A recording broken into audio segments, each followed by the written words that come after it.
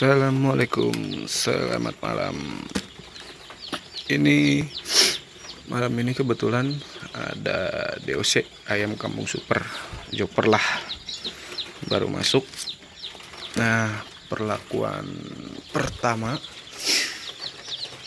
itu, ntar ini tentunya kandang ditutup rapat dulu supaya nggak kena angin tapi dikasih lubang sedikit dulu buat ventilasi. Oke nah ini dia. Lampu penghangat. Nah ini tandanya masih kedinginan jadi ini mesti ditambah pemanasnya. Nah, terus treatmentnya yang baru datang kayak gini kita kasih antibiotik di sore hari pagi hari vitamin. Antibiotik itu perlu karena yang namanya baru netas siapa tahu ada bakteri atau apalah gangguan-gangguan bawaan induk atau apa gitu dari mesin penetas juga yang kurang steril karena udah lama dipakai.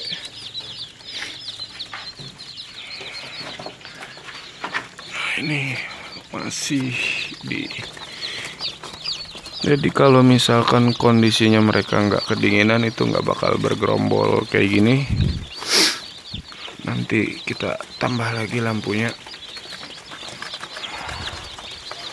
Dan ini juga kekecilan tapi mungkin kalau diganti dengan yang 15 watt atau 20 watt mungkin agak tertutupi nih karena kebetulan tadi stoknya cuma ada yang 5 watt jadinya gini lah masih banyak yang kedinginan bunyi-bunyi nyericit kayak gini nih udah nggak beres nih sebenarnya. Jelek nih jelek banget perawatan kayak gini nih. Jangan ditiru. Harusnya sih mereka nggak kedinginan. Nah, oke untuk terapinya ini antibiotiknya. Nah di sini nih. Ada kegunaannya untuk apa aja. Jadi ini yang kayak gini-gini nih biasanya emang apalagi nih musim hujan nih koli.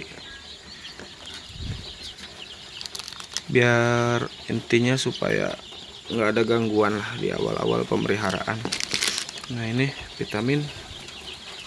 Vitamin sama asam amino. Asam amino ini untuk meningkatkan pencernaannya agar lebih mudah dalam mencerna. Terus ini isinya nanti. Biar sehat selalu. Nah ini pentingnya vitamin itu. Jadi di masa-masa awal ini supaya nggak kekurangan nutrisi terus vitamin terus ada apa? Mineralnya juga. Jadi aman lah. Ini yang pokoknya harus ada. Nanti insya Allah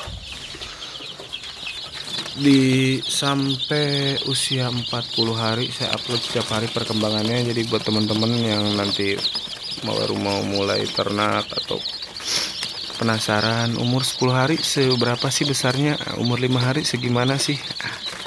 Jadi gitu. Supaya ada gambaran lah buat yang baru mulai ternak. Oke itu aja dulu kalau misalkan ada kurang-kurang koreksinya di komentar dan semoga bermanfaat. Assalamualaikum warahmatullahi wabarakatuh